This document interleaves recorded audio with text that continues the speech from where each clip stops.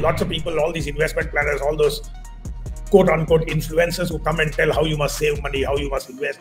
I would want to tell people that you earn money so that you can spend money.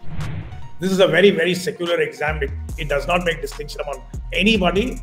And touchwood thus far, if everything else is bad, our exam system is, our examination process is very robust. The day you step out of being a CEO, nobody cares about you because bulk of those things come out of position. Here, I don't think it comes out of position. Even nice guys win. Uh, you don't have to be a tough guy. You don't have to be an aggressive guy externally. What requires is internal aggression.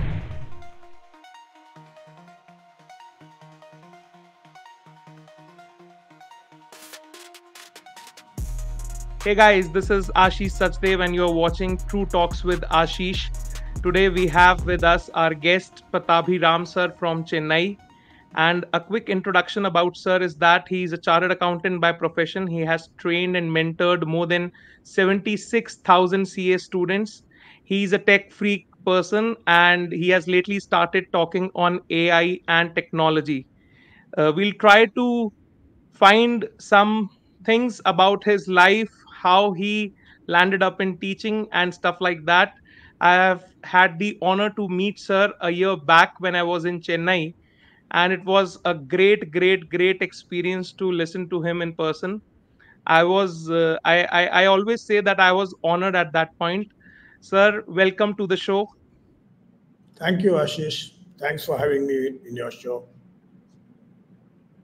So i want to start with asking you uh, that moment of your life that that defining moment in your early life when you decided that you will study accountancy, commerce, and you'll become a chartered accountant?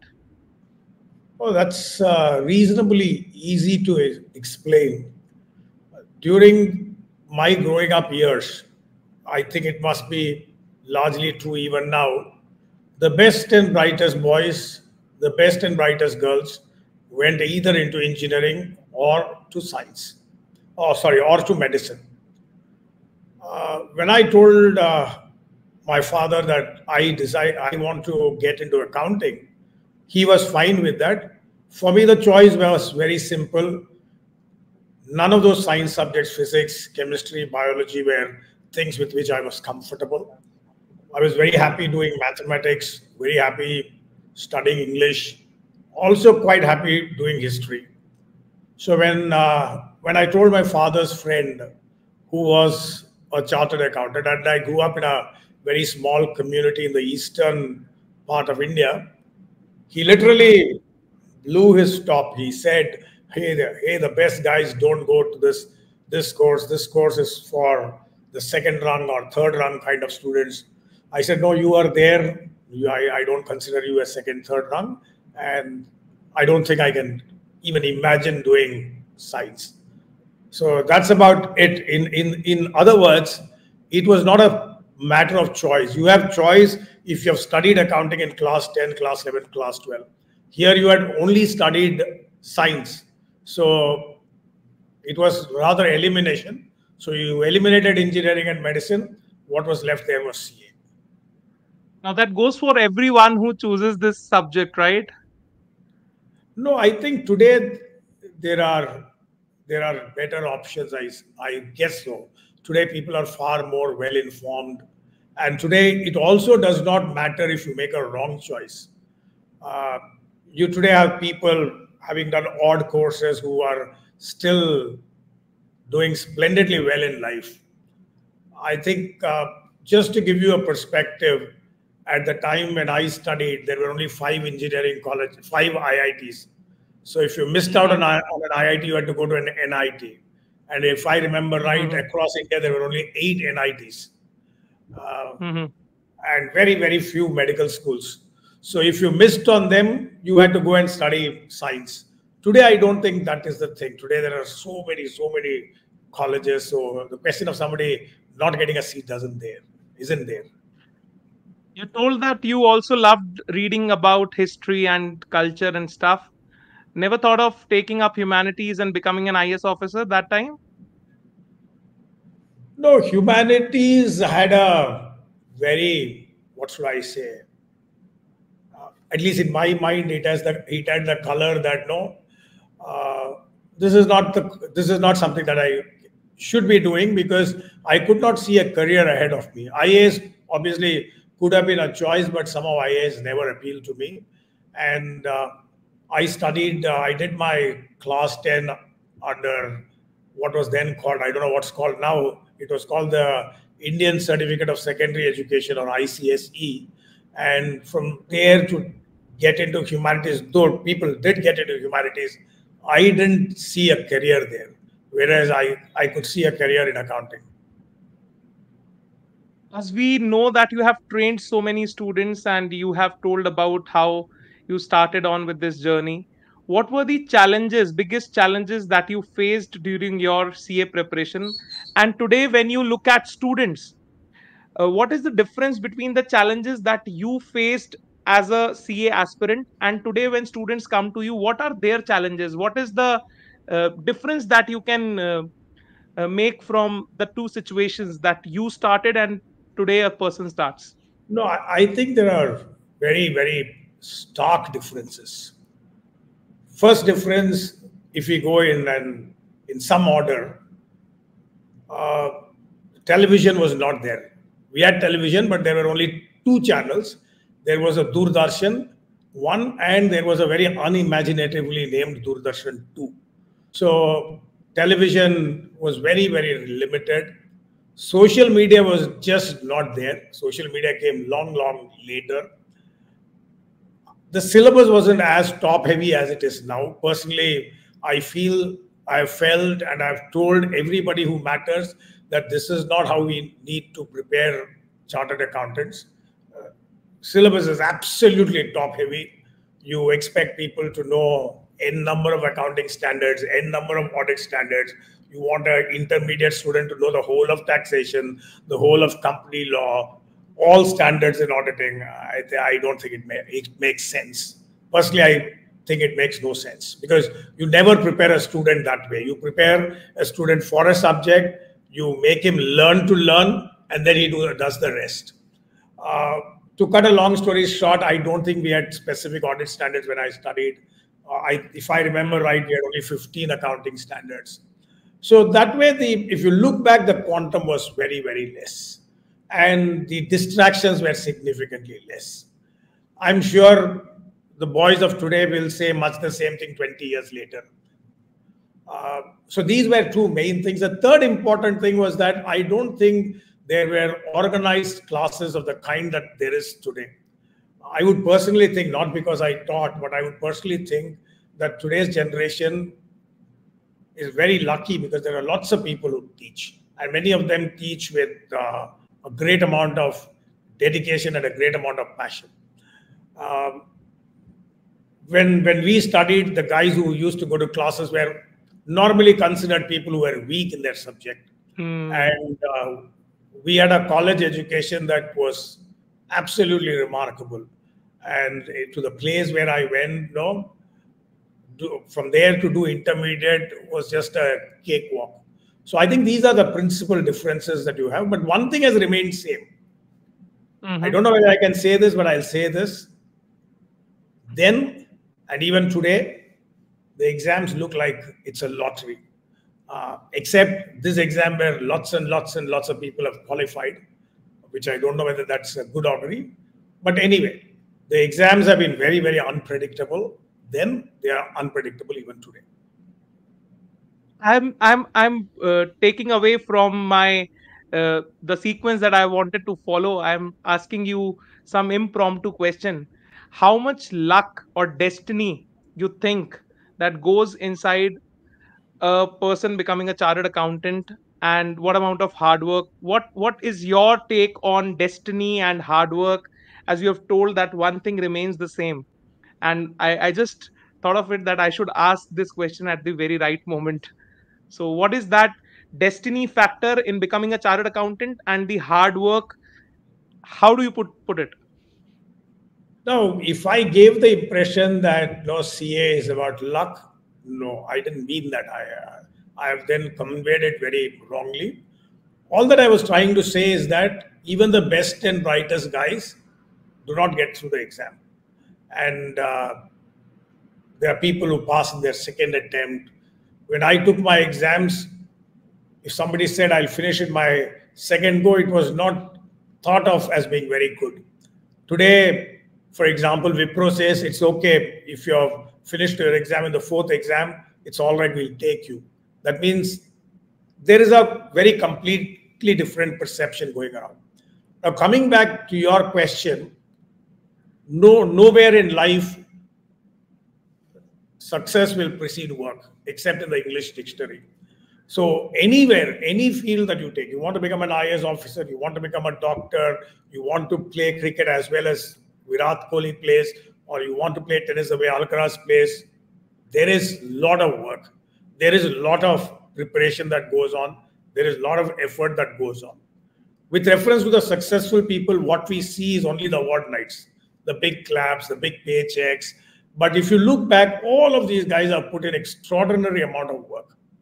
Uh, be it an SRK, be it uh, Sachin Tendulkar, be it uh, whoever. So I am not going to downplay the importance of hard work. Hard work is there. I think there is the importance of intelligence. If you are a little lower on intelligence, you need you can make up with hard work. Luck, like anywhere, has a certain part. Luck, like anywhere, has a certain part, like in any game.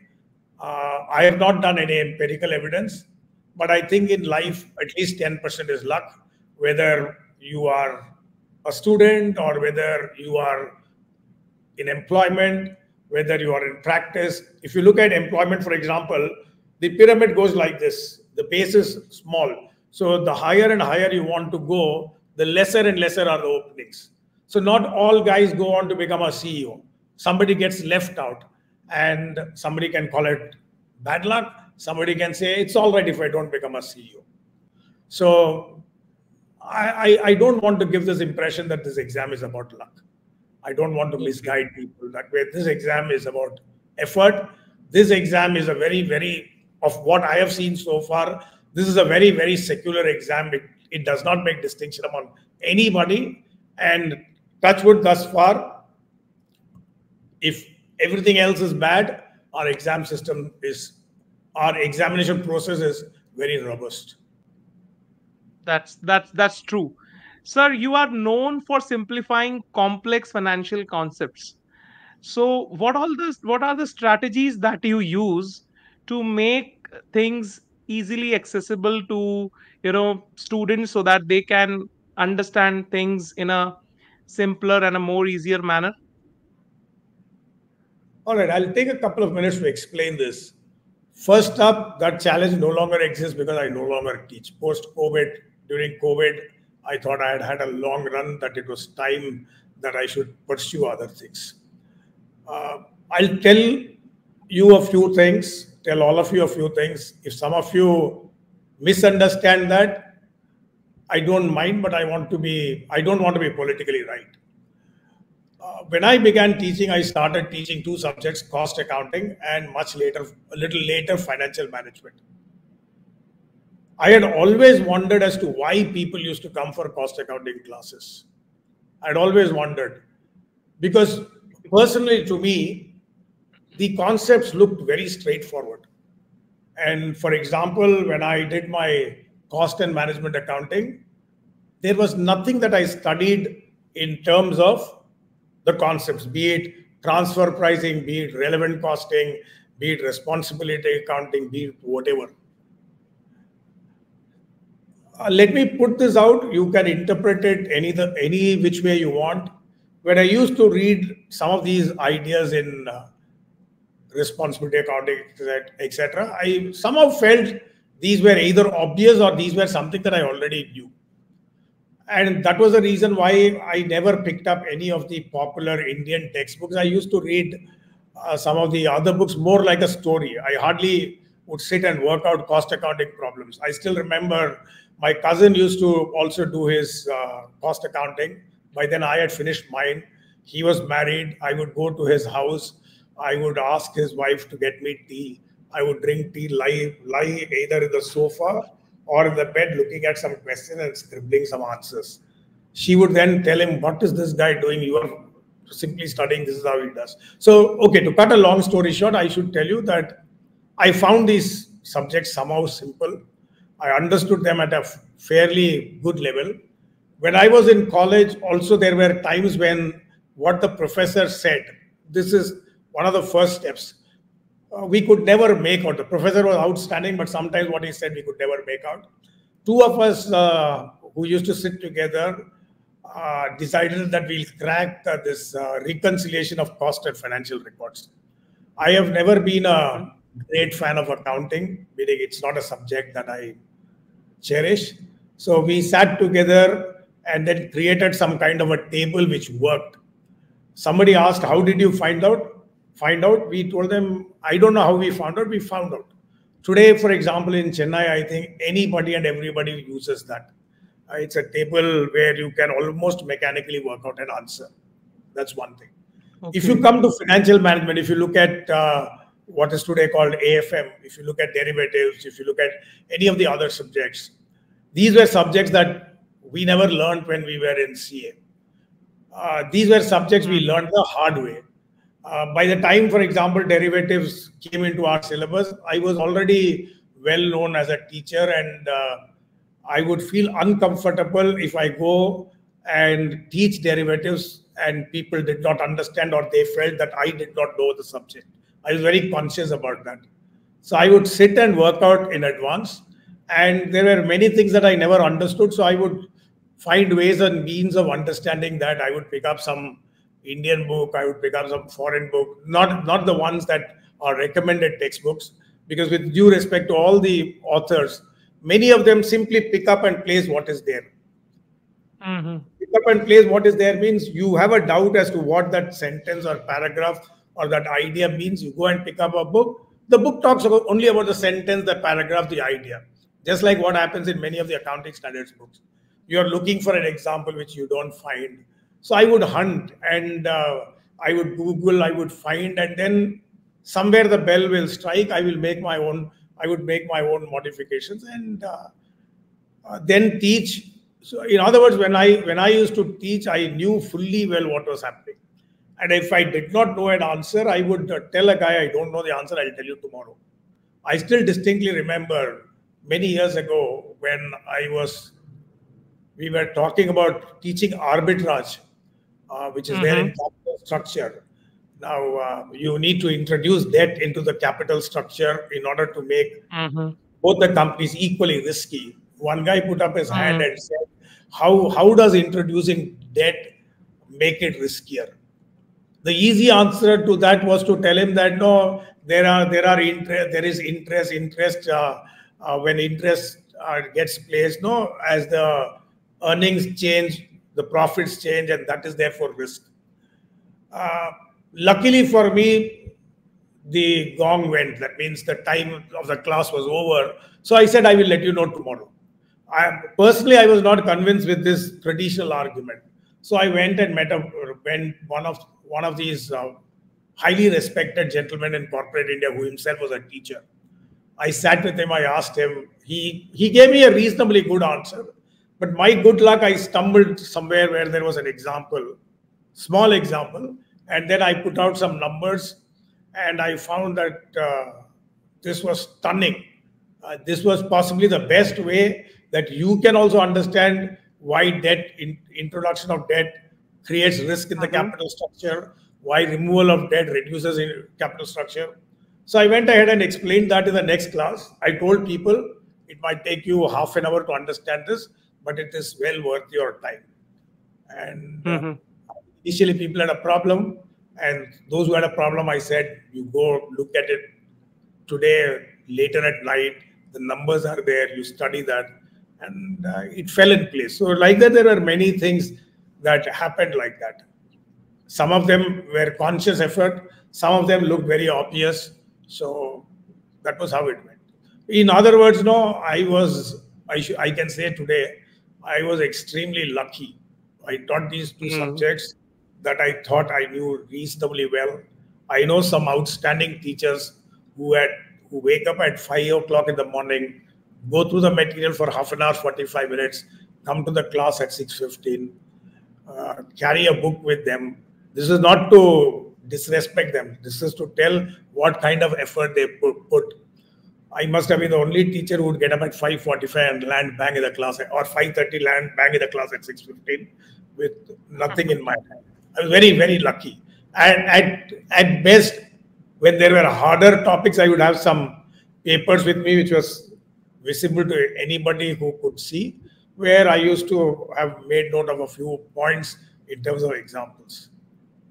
Mm-hmm. So you have also started writing, and you have written a number of books.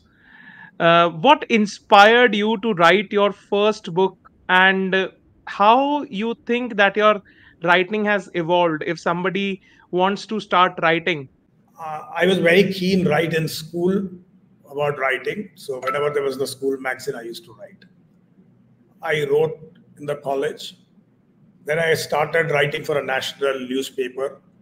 And okay. luckily for me, in Chennai, I got to be recognized not as a CA. I don't think I even got to be recognized among the teaching community as a, sorry, among the practicing community as a teacher. I was first looked upon as a guy who wrote for the paper. I used to write every hmm. week on, on I had a column on mutual funds. And luckily for me, the writing stood out. Stood out means the newspaper, I can tell you the name of the paper, the Hindu, uh, writes in a style which is traditional, which is conventional. And when my writing started appearing there, it was easy to read. And so it, it was very, very distinct. It was very un Hindu like writing people were even surprised that those writings got carried out. So I was that way lucky. Then sometime in sometime in '96, I got an opportunity. I, wrote an article about the ICFAI, the Institute of Chartered Financial Analysts of India. I wrote an article about its founder. He had come to Chennai to speak. I was pretty impressed by what he spoke.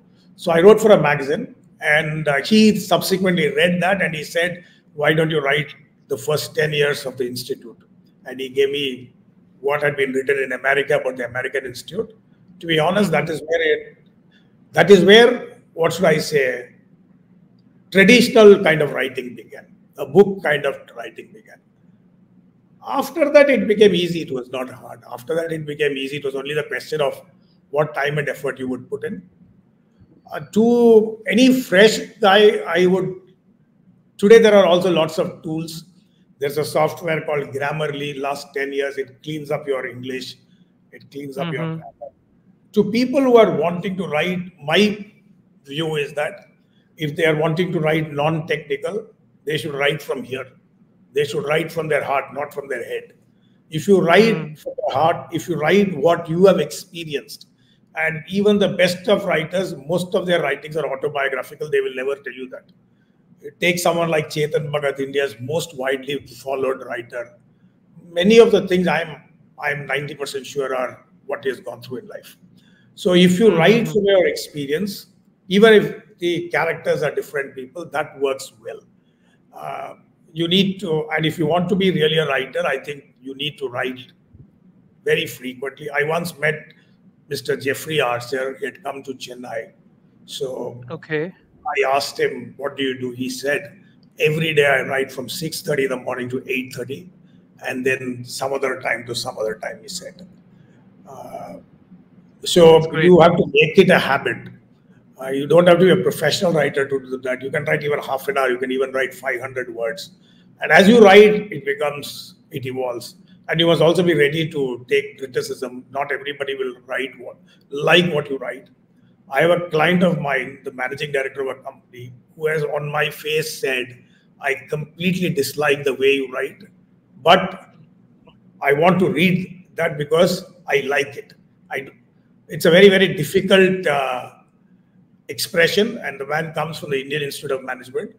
Uh, what he is basically trying to say is that the ideas are good, it's well drafted, well written, but the writing style doesn't suit my background. So, what I'm trying to say is that you have to be receptive to what people say you don't you should not take anything not just in writing even anywhere you should not take anything and everything personally so you should think that they're actually being genuine i think you do that and you also need to do a lot of reading if you have done a lot of reading earlier it is good reading.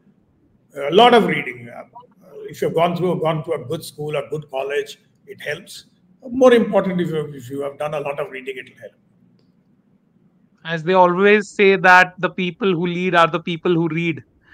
Sir, as you have been talking about automation, AI, technology a lot these days, what do you think its impact how is it is going to impact the accounting profession in days to come and the work of chartered accountants specifically? Okay. In all these uh, workshops that i've done across the last 9 months i've done essentially on chat gpt mm. i have told that no across the last 4 years i've been talking across the length and breadth of india on the on what is called the future of work. And there in the future of work seminars I used to tell that any job that is rule driven, any job that is structured, will get automated and they'll get automated very quickly. I used I therefore used to tell, don't think that your job will not get automated. Any job will get automated. I also told people that any job that is creative, like you paint, like you draw, like you write, mm-hmm. like to a large extent, like you teach, uh, all these are jobs that will not get automated. Okay.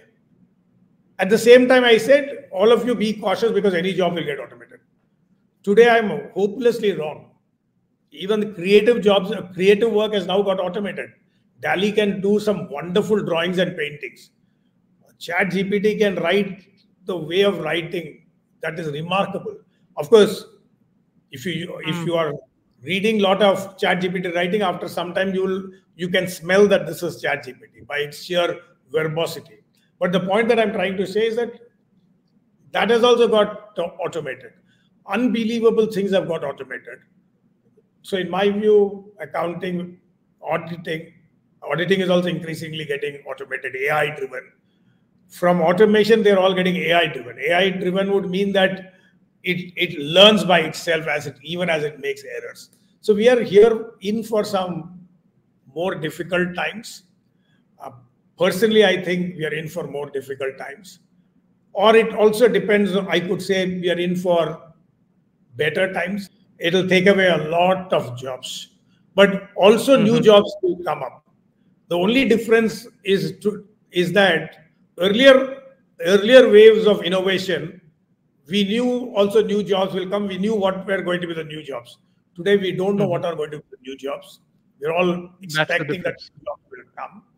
Just to close this point out, 10 years ago, there was no job called a Uber driver, no job called an mm. Ola driver, or no job called uh, that Zomato delivery boy. Today, there are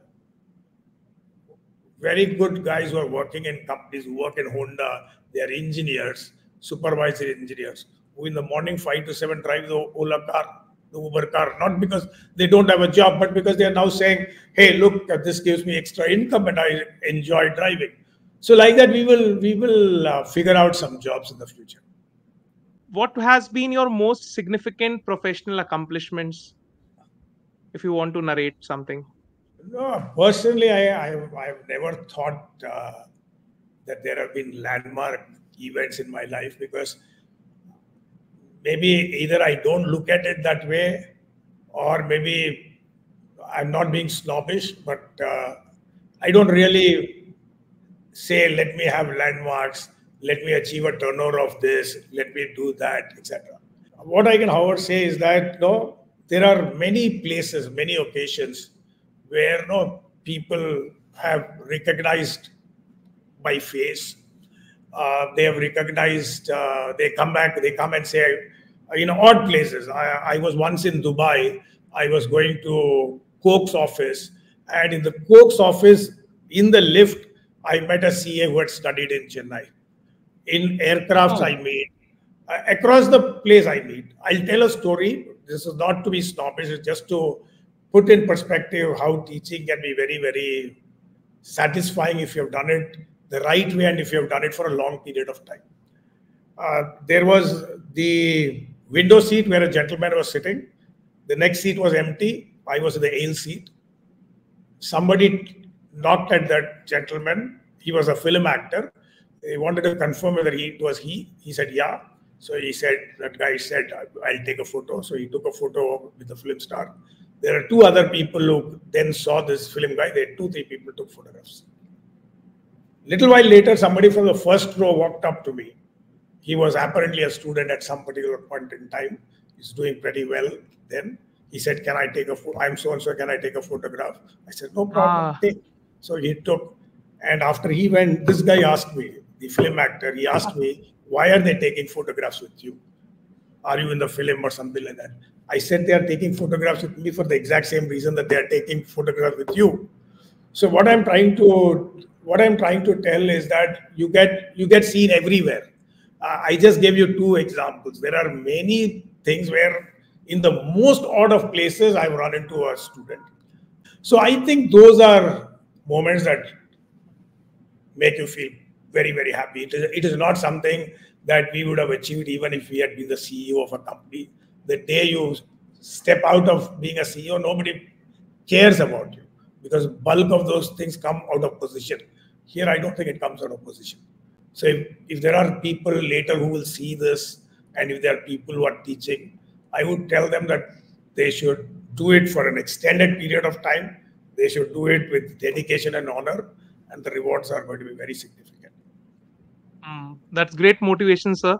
So, one line of advice that you would give to a young person who thinks of becoming a chartered accountant in 2024 and later, maybe? I, the generation is very different here. To, yeah, the generation that is now coming out, as you know, is called Generation Z. Their attitude and approach to work is very different from my generation. They're very, very, very different. Uh, that said, and, and, this is a generation which is in a hurry. It's it's in a it's in a hurry. It's a it's my nephew's generation, for example. If I can see my nephew, niece, and imagine it's like that. They are in a hurry. They are always on their mobile. Uh, I'm not saying that is bad, uh, but my view is that people should pause. Maybe they don't have to pause now when they are 24. They should pause when they are 34, 35, because there is a lot of things that can be explored in life. I would tell a fresh CA that he has got at least 50 years of career because the longevity in our country and in the world is going to go up. He is going to work until 75. There's no two opinion about that. Uh, they're going to be fit and healthy. They'll work up to 75. So there are multiple options that they should try at different different points in time. You should give up something when you're at the peak or near about the peak, uh, and you should explore something completely different. Um, that's one. Second thing is that they should really believe that life is a marathon. It's not a sprint. It's not a hundred meter dash. That no, it, it, tomorrow you have to buy a car. Day after tomorrow you have to buy a house. It doesn't. It doesn't matter and doesn't work like that. Also, you can buy a car when you're 40. You can have a house when you're 60. You can do whatever whenever. So we must recognize that. The third important thing I don't know whether I'm being philosophical. People will dismiss that like that. I don't think you should really judge with, hey, there is a batchmate of mine. He is doing so wonderfully well. Uh, or there's another batchmate of mine who is you know, rising. He's a rising star of some other corporation. I have been left behind. I think, very honestly, I think, and I'm not saying that just like that, you have to compete with yourself. Last year I did X. This year am I doing X plus? Other people's success should only act as a motivation. If you start feeling jealous, if you start saying, oh, he has done, I have not been able to do, I don't. At some point in time, you must learn that different people are wired to be successful in different ways. That's great. So, what has been your biggest inspiration, both professionally and personally? Oh, that that is a little difficult to answer the one person who we really admired, whom no, we all felt no, when he achieved, we all felt extremely proud that we were Indians. You maybe the subsequent generation will not understand that because at that particular point in time, India really, really did not have great heroes. And the guy was Sachin Tendulkar. So for a man to be a one man army from the year he came to 2003 when the NatWest Trophy took place for mm-hmm. 15 mm-hmm. long years to be India's one man army, where you knew that if he performed, India will win. You knew that if he did not perform, India will lose. And then to have continued to play in, with successive generations, and I think in the later part of his career, he must have played along with people who were born after he made his debut. And uh, whatever people might say about him now, to have played that game with that kind of sincerity, dedication, with that kind of honor and uh, never questioning an umpiring decision. I think for the first time, people like me learned that even nice guys win. Uh, you don't have to be a tough guy, you don't have to be an aggressive guy externally. Uh, what requires is internal aggression. So I think uh, Sachin really stood out. Then there was a man who is now no longer there, a man called Mr. N.J. Yegnaswami. Yegnaswami was the mm-hmm. founder of the Institute of Chartered Financial Analysts of India. He was an All India first rank in his CA inter, in his CA final, in his ICW inter, in his ICW final. It's a record that stands till date. And when I qualified uh, as a CA, I gave up 10 mm-hmm. job offers. And they were really, really the best companies at that time. Offers from Hindustan Lever, offers from IDBI, offers from ONGC, offers from Indian Oil. I had eight offers from some of India's top companies. I gave up all that to go and work with him because I thought, and I still think, I thought he was a wonderful guy to work with. Uh, he is a today. Today, for example, uh, if I think that something can't be done, in my mind, mentally, I would ask, what what would this man have done? Uh, if there is someone who was simple and whose ambition was on a huge scale, and the ambition was on a huge scale in the right place and at the right time. It was he. Uh, very unfortunately, he passed away in 2011. Uh, but I think uh, he was, to me, along with Tendulkar, possibly the most inspiring, two most inspiring people. That's brilliant to know, sir. Uh, sir, what are some of your personal interests or hobbies that you pursue outside your professional work and teaching and writing and what, what all you do? See, technically speaking, everything that I've done was actually a hobby.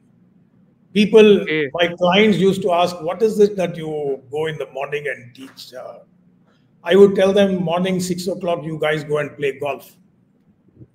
Or you hmm. guys go to the gym to become fit in almost much the same way at that particular point in time, I go and teach. Uh, what I'm trying to say is that it was only intended to be a hobby. I think till the last, some of some of the people who taught along with me looked at it only as. But today, people will say, "No, they he's talking through his head." No, we were very, very clear that this was only hobby or this was only fun. It was never our principal uh, source for anything other than the sheer uh, enjoyment it brought about. That is why I think there are people say that if you continuously and steadfastly do what you what you like, many things will start flowing along with it. Teaching was therefore technically a hobby. Writing without a shadow was a hobby, and uh, writing I don't know how to put this across.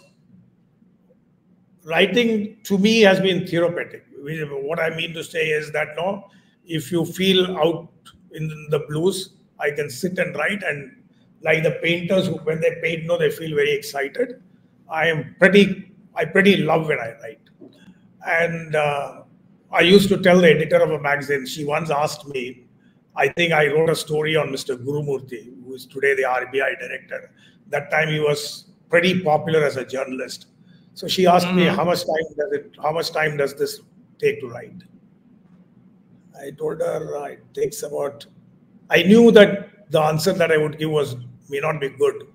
So I told her it takes about five, six hours. To me, it took about two and a half hours. I told her it takes five, six hours. She literally stood up hmm. from her chair. She said, Are you serious? I said, Yeah, beyond that, there is nothing that I can do it with my script. she says that professional writers in her organization for those kind of things take six days to do. So, okay. six days. So it, both of these came very naturally to me. So therefore, that way I was very lucky. I was doing things that I actually liked doing. Uh, so that way, if you look at the hobby became uh, the way of work. Uh, I play squash uh, reasonably okay. fine. Uh, I'm talking about what I do today, now, not mm-hmm. not in the past. Uh, I have started playing pickleball, and I think okay. we will maybe six months time I should be pretty good with it. So these are the two things that I now do. What is that uh, one song that you would play if you are alone in the car and there are oh, rains, beautiful weather outside? A, if you give me a call, there will be a music that would come in or ringtone or whatever you call. Okay. Uh, it's it's song I would play in the car. I've listed. I've actually 10, 10 plus ten. Which is that song? Which is that song? I've always called you on WhatsApp. no, you call on landline, you will know. Uh, that those songs are from the movie Murder. The, those, some of those songs are from the movie Gangster, and uh, I have 20 songs with me. 10 in one playlist, another 10 in another playlist. They are very soothing. They are extremely good. Long years back, somebody gave me 100 instrumental songs. They are movie songs. They are also extremely. Mm. These are what I listen to. They are either oh, Hindi, Hindi or Tamil. Yes, yes. I can't okay. listen to English music. I can't even watch English movies. Okay, you don't watch English movies. I've never watched an English movie. I maybe because in my early childhood, the kind of movies that were screened were not to my taste. Even subsequently now, even now, some somehow I'm not able to relate to what they do there. I also not able to understand what they speak there. Uh, so when you watch a movie, according to me, you should not take effort. Whereas I think the English movies take effort. It, it could just be a mind block. I don't know. It could just be a mind block. Uh, but till date, I have not uh, not gone and watched. Okay. It. Now moving on to the concluding part of this long, long, long talk that we have had. What are your thoughts on the future of chartered accountancy profession in India and across the globe? Now, there are many people who predict this will happen in the future, that will happen in the future, and they've all had egg in their face, including me. I said, no, creative work will never get automated. Within four years, it has got virtually automated. Uh, I think the way that we have done audits in the 90s, the 2000s, and maybe even in the 2010s will change. Uh, there will be a lot of AI work that will happen. There will be a lot, there is also a belief among some people, and to some to a large sense, I subscribe to that, that statutory audit in its current form could possibly go away. Uh, in its current form, could possibly go away. Uh, like for instance, if you look at the mutual fund industry, nobody mm-hmm. looks at their annual report. Nobody even bothers what its annual reports are because every day they report their NAV, and uh, that NAV and the growth in that NAV decides. So there is a view that people, organizations will constantly update in whatever place it wants, and the regulators will pull out data as they deem fit and do and look at it. This is very difficult to explain. What I'm basically trying to say is that this idea of an year end or or to keep it a little simple, this idea that at the end of the year there'll be a statutory auditor will step in and do, I think that is going to increasingly get dwindled. Maybe it'll take another 20, 30 years for it to possibly disappear.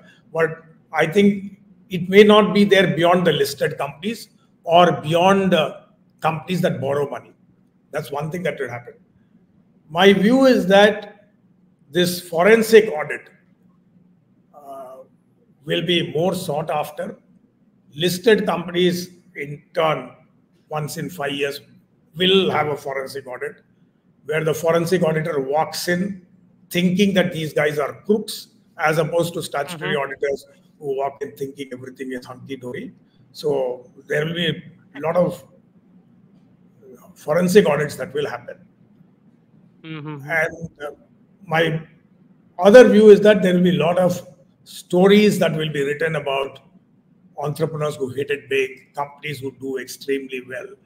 Uh, India will get down to documenting more and more of success stories and failures in a way that they have not documented before. These are the things that I think could happen. Okay. So, last question, and uh, then we'll wrap it up. What is that one advice? I think you have already talked about it, but I want to ask it in a more generalized manner that you would like to give to the Gen Z today about how they have to look at their life at uh, uh, like like an overall picture for the next 20 30 years probably. No if, if there is a gen z guy who listens to what i'm going to say he'll say this guy is a boomer he doesn't understand. Okay that's what they are likely to say. Uh, because that's a very different generation uh, that generation does many things that i possibly wanted my generation to do what i said then i will repeat now i don't want this generation to think that life is a sprint, life or career is a sprint, life or career is a marathon. You have to last if you want to want to be remembered. Sachin Tendulkar is today remembered because he played for 25 years. I'm sure there are more talented people than him who played for two years, three years, and then they disappeared like a meteor. Uh, the best example that comes to the mind, the oft-quoted example, is that of Vinod Kambli. And I'm sure there are many people like that in the world. So the guys who are going to be remembered are people who do consistently well across a period of time, not those who come in flashes of brilliance. Every field, you take Roger Federer, you take tennis, Federer is widely remembered, will be remembered. Djokovic will be remembered. Nobody is going to forget. Look at a man like Amitabh Bachchan, you know, mm-hmm. or a guy mm-hmm. like SRK. Amitabh is a better example, though I'm not a great fan of him. That he has been in the, in the industry for 50 years. He has been extremely adaptable. When he realized that his you know, running around the tree roles are not going to work, he moved on. He was a man who has been adaptable, and that's the reason why he is what he is today. So, mm-hmm. to if you want to be remembered, if you want to leave a legacy, you will have to imagine that you will have to consistently and steadfastly work for a elongated period of years. You will have to do that with both dignity and grace and you will have to mm-hmm. do that without being in a hurry. Uh, winning and losing, you know, are are parts of the game. Somebody once told me that you guys should try this. You guys have been successful. I turned around and smiled at a friend of mine. He also smiled at me. And then the other guy said, no, the guy who put out that statement said, uh, why are you smiling? I told told the guy that we have done that there, there have been no other set of people who have tried as many things as we have tried and failed. Okay. You know only the success part of the face, and which is just a couple exactly. of things. And we must have tried at least 10, 15 other things, and two of them have only worked. So, all that I would like to tell people is that, oh, you work, it might be your dream project, and it could bomb just like Indian 2, now people are saying it's bombed. I think the man Shankar mm. has dedicated five years of his time. And I, I know because I did a story, I did an interview with him five years ago. I know how mm-hmm. passionate, dedicated he has been about it. And that's not going to kill him. Uh, that's not, uh, mm-hmm. he will, I'm sure, come back. So, like that in life, there are many things that you will fall down. Uh, if you think, oh, this is the end of the world, and then go and hang yourself from a ceiling fan, it's the most foolish thing to do. And today's generation, I know, does a lot of traveling, but I would ideally like people to travel, look at places. There are some lovely places in India and in the world that you should visit. No, life is not just about earning money. There are lots of people, all these investment planners, all those quote unquote influencers who come and tell how you must save money, how you must invest.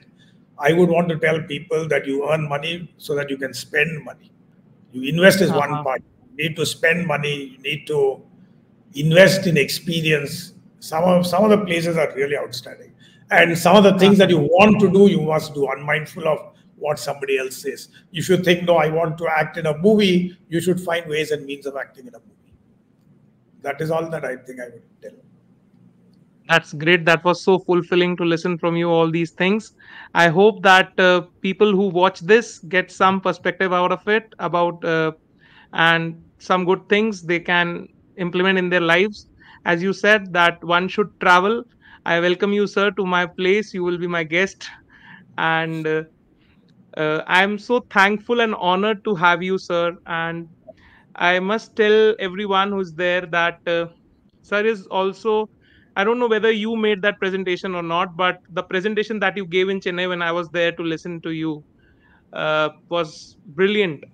And uh, that only we have been in touch from that time. And sir has been really nice and humble to just get in touch with me. Thank you so much once again, sir. Thank you. And those who have watched it till now, I would request you to please subscribe to the channel and like it so that we'll bring yes. in more such intuitive interviews and people along with us and discuss more things. Thanks for watching. Have an awesome day. Enjoy. Thank you very much.